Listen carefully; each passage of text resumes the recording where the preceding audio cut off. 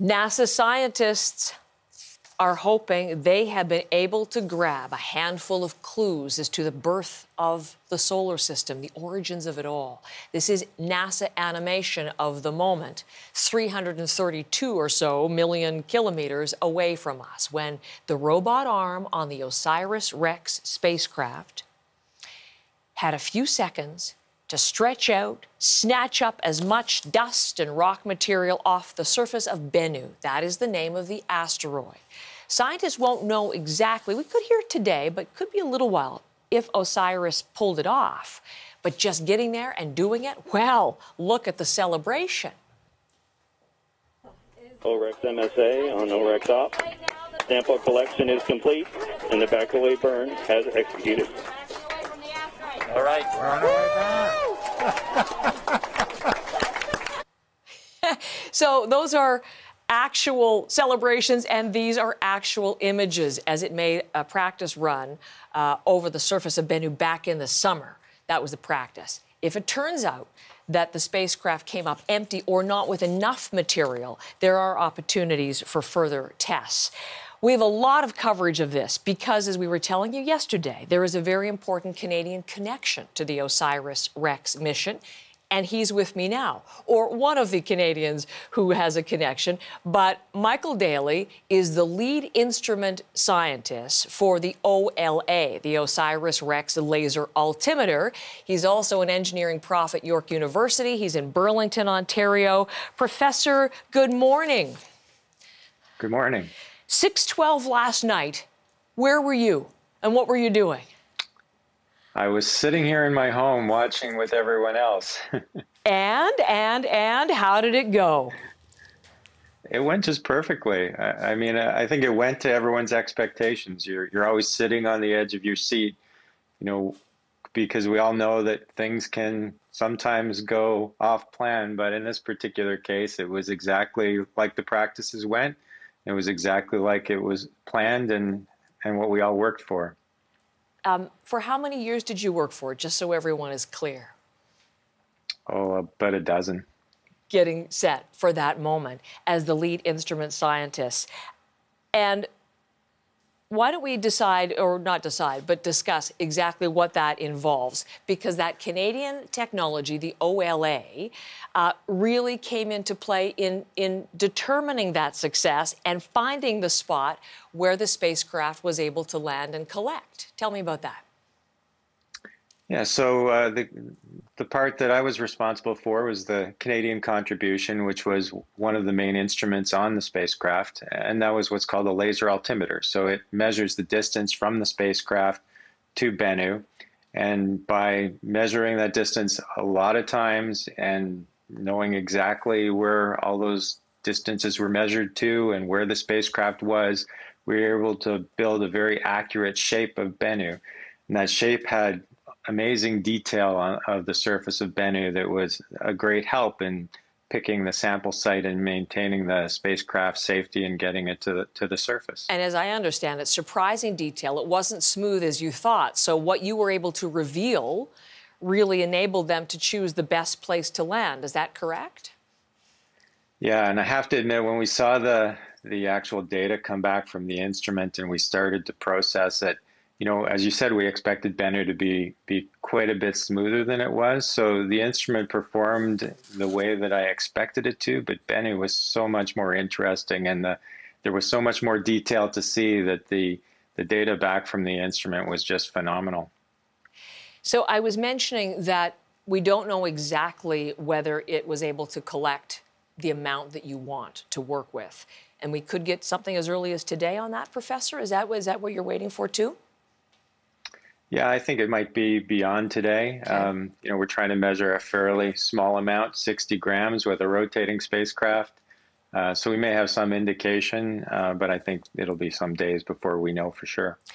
And then that is what is going to, when you get the amount that you're collecting, it's going to come back to Earth. And in 2023, because Canada and your role and Canada as a member partner in all of this gets some of the material from this asteroid, the first time we've had this kind of material to study on Earth. Tell us what we could learn from it. Really, these asteroids are sort of laboratories that hold clues to how the solar system was formed and what kind of materials were were there um, during the solar system formation. Many of these materials are, are important for um, for how you know the Earth evolved. So it's it's it's very important from that perspective. It's also important for us to better understand these bodies, and you know we're really the first generation that could protect ourselves from from collisions. And then there's just a great many science questions. You know, we know a lot about uh, asteroids from our meteorite collection, but we have some indications from data on OSIRIS-REx that we might not have some of this material in our meteorite collections uh, in any form because some of it looks like it might be so fragile it would never uh, enter the earth and, and, and be found because the atmosphere would break it up. So there must be a lot of excitement to get that back here for 2023 and to see it and to study it and to unlock its secrets. Why don't we give a bit of a shout out to the Canadian Space Agency and to your team for this? Because I can see, and justifiably, I mean, you must be so proud for this this scientific first. Yeah, well, our part was really, you know, characterizing the asteroid, but the main mission objective is really the sample and bringing it back in 2023. So, you know, this this really is the culmination of what we've all all been working towards, and and the team's very large, and I've been privileged to to work with a, a great many people, and that I would happily uh, work with again if given the opportunity, because the the team was just phenomenal. Isn't that great? Well, nothing would have been collected if it hadn't been for you pinpointing where they could land to do the collection. So, uh, characteristically modest from a Canadian perspective. Listen, I have lots of questions because I love science stories, but I'll tell you what, Professor, could I ask you a favor? Many people are sharing, sharing, your excitement, and we made last week some new friends on our show who are very, very keen on space um, and who were watching as you were at 612 and I feel like they might like an opportunity to meet you and join in our conversation. So why don't we say good morning again? They're up super early for us to Theron De Silva. Hi, Theron. Hello. And Alfie Chan, fantastically dressed for this morning. NASA. Hi, Alfie. Hi, Heather. Also in Richmond Hill. I told you we'd be talking again, guys, and here you are, back just a couple of days later. Yeah, amazing. what were you both? Were you both watching the live stream? Yeah, yesterday. Yes. You were did. yesterday, six twelve, yeah. as it was all coming off. Theron, what did you think? Yeah. It was quite interesting, actually. It was kind of like you know some people chatting like on like you know those um those shows were selling you things, and then it interrupts and it's like and it says oh touchdown completed or something and when there was touchdown completed, what did you think, Alfie? Um, I just was like smiling from my left ear to my right ear, and I was just so amazed that this was something we could have done in the next generation, how advanced this technology was, and we actually did it. We're actually bringing something down from the heavens of space and down to here to actually study and I actually um, was also really um, happy for the scientists because they had to before they even even even launched it they had to come up with so many scenarios like what if OSIRIS-REx crashes? What happens if it tilts it? What happens if this happens? What happens if that happens? And then so on. And they worked around all of that just to do this and they did it. They actually did it. And as you said, they came up with all sorts of scenarios, and it was Canadian scientists, in part anyway, Alfie and Theron, who yeah, were doing that incredible work. And so we've asked Professor Daly to stay around because this is one of the Canadian scientists who did that. You've got big fans, wow. Professor Daly, in, in, in, our science, in our science friends. What do you think of, of their observations? I think they're great. I just need them to grow up so they can come to a university. okay, Alfie, you get to start. Alfie wants to be an, an, astronaut and a journalist, Professor Daly. We learned that last week. So, Alfie, we've kept Professor Daly on so you can ask him some questions. You get to go first. Okay. Hi, Alfie. Um, who? Hi, Professor Daly. Uh, who and how are the amazing people that made the uh, OSIRIS-REx mission happen? Oh well, the the mission is a NASA mission, and so it was led uh, by Professor Dante Lauretta out of the University okay. of Arizona. But there are lots of organizations, and, and, these missions take a great, you know, hundreds of people to to make these things, thousands probably thousands to make these things happen. There have been lots of people with many, many skills uh, that contribute to something like this. Uh, did you hear Professor Daly earlier, boys? Uh, he was saying he's been working on the instrument for OSIRIS REx for 12 years. Yeah. That's longer Whoa. than both of you have been alive, which is really incredible to me. Theron, you get a question. When, when Professor That's Daly talks so about long. the team, I just want to remind him it's the Canadian Space Agency. Your dad's formerly with the Canadian Space Agency, so you have a direct connection there. What's your, what's your question, Theron? Um, well, how hard was it to actually make the OLA and LiDAR? Like, was it really hard? Uh, so with these projects, they're very long. So there are, you know, easy and fun times, and then there are hard times when you, you really have to pull together and and what work through some challenges. What was the hardest um, part well, of it?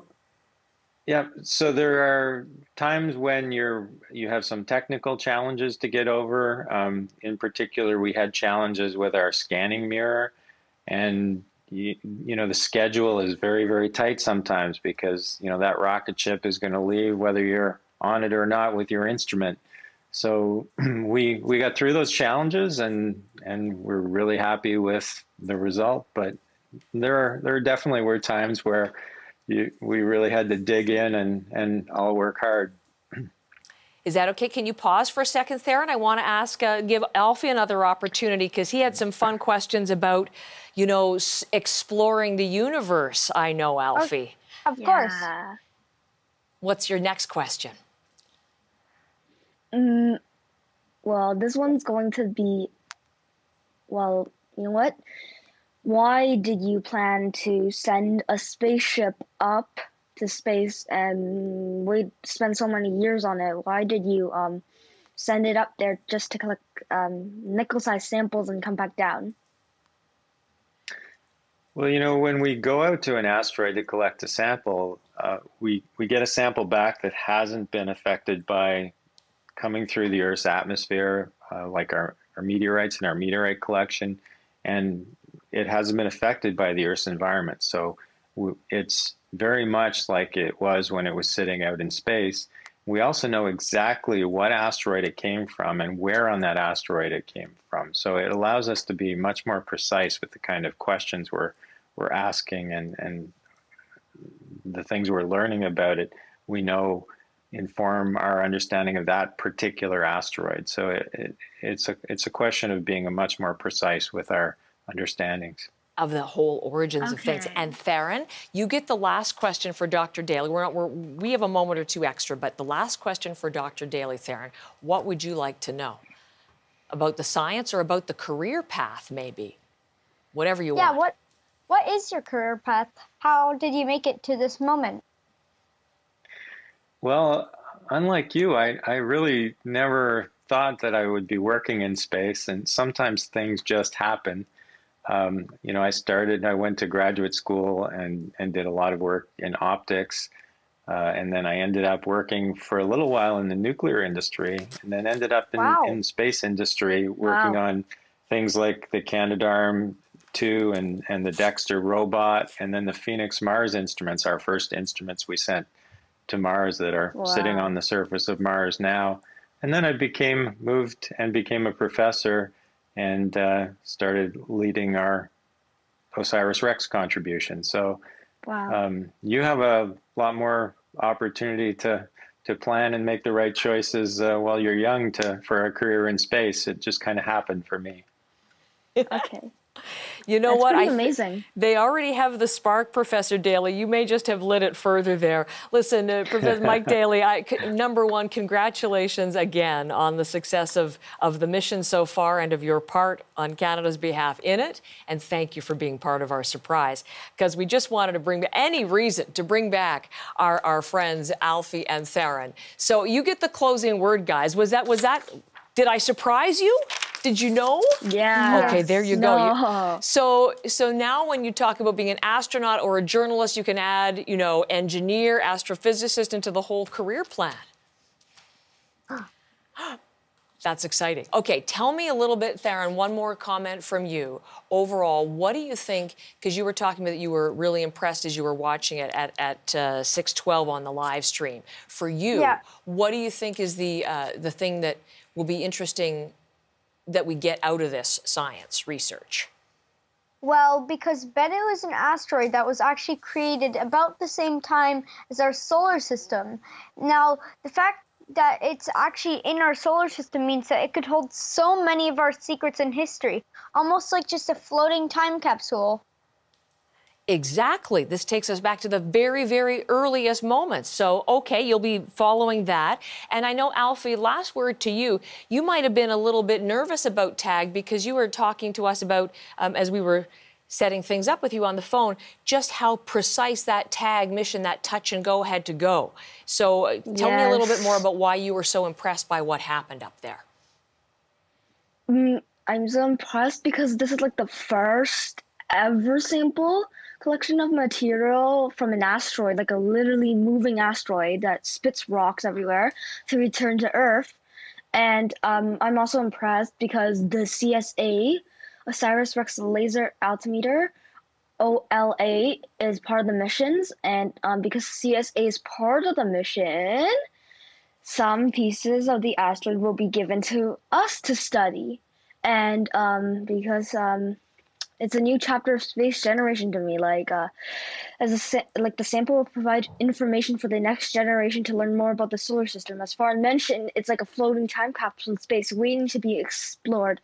And um, how all the brilliant, dedicated scientists, engineers, and people involved, like they each found a way. Like every single challenge, like maybe there was probably like fifty challenges, and they came up with each single solution to like jump over them like hurdles and ha- um and we might discover something new and there are actually lots of precise calculations and thoughtful designs on the instruments and the OSIRIS-REx spacecraft and they actually overcome different risk factors into account and the precise and technical challenges of this mission will actually benefit like future space exploration minutes. Ex- and maybe and you So and you in the future maybe I, I hate to cut you off Yeah, Alfie, maybe. but i have to let you get ready for school again today that's a really thing Oh, I, yeah. again isn't isn't it amazing theron that he was studying this one particular instrument and creating it and all the science longer that you've even been both of you friends alive Yeah. It's incredible. Yeah. gives you a sense of what's in store if you become scientists because the one of the NASA's project, I think they had to build a spaceship in four years. But this one small instrument, you know, just like a little arm that sticks out of a small satellite, took 12. It's amazing all of the brain power that went into that moment that you have helped us appreciate so much more this morning. Thank you for visiting with us again. We hope to have you back next time we have space news, okay? Okay. Okay. Okay, friends, see you next Bye, time. Heather. Bye, Alfie. Bye, See you next time. See you next Bye. time.